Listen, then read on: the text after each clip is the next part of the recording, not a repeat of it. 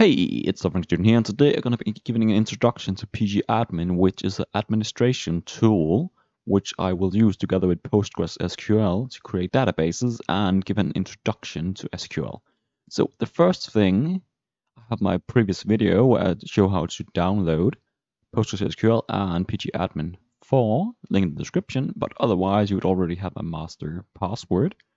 So I would just log in.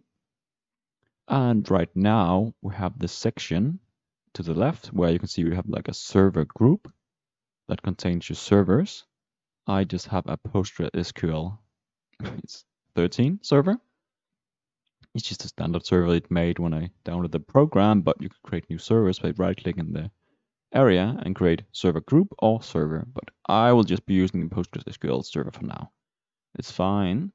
And it is all, I'm everything I'm going to be doing is going to be locally hosted, at least at the beginning. And you can see as well in the top that we're using 127.0.0.1, which is also localhost. But how it works is set up as mentioned, we have a server group containing servers, containing like the databases, and of a specific database. So right now I just have one database, which is called Postgres. Let's actually create a new database. So I just right click create and I can give it a name and the owner, which is me, Postgres, is just uh, just gonna call it database one. And what's also very interesting is you can actually take a look at SQL part directly. So this is actually SQL that's called inside Postgres SQL to create this new database, where we create a database with a given name, with a specific owner, some kind of encoding, and a connection limit. Minus 1 meaning there's no connection limit. Otherwise, we can just save it. And I now have a database 1. And you can, as you can see, there are quite a few things which at first not too important. We'll talk about some of them later in this series, but mostly at the beginning, it's all about schemes, which contains our tables.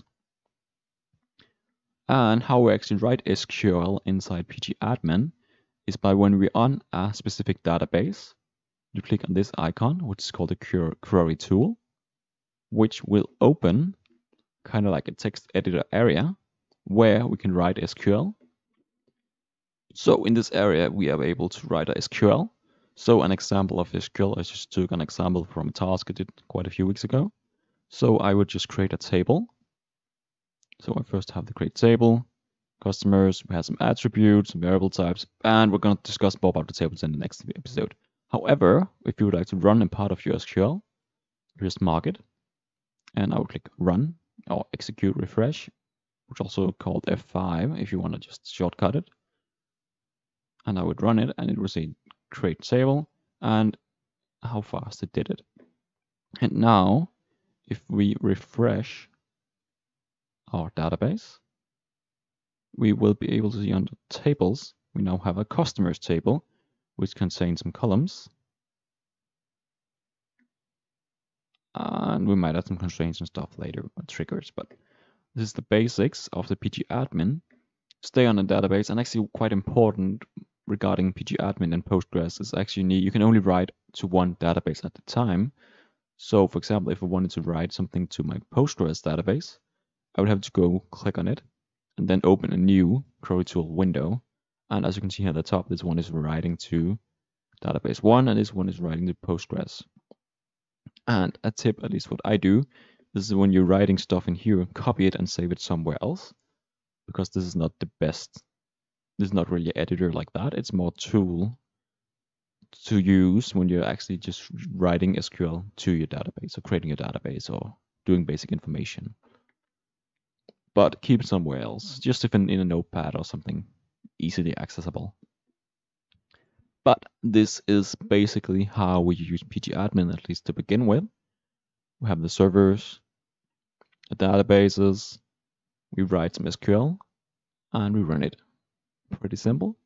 And as mentioned in the next video, I will be going over tables and what all of this means because it might seem a bit confusing at first and how we're going to create tables and then later on we're going to be connecting them and then we're going to inserting information into the tables, and then we're going to get information from our tables or from our database. So if you enjoyed this video, please leave a like and subscribe, and I wish you all a wonderful day.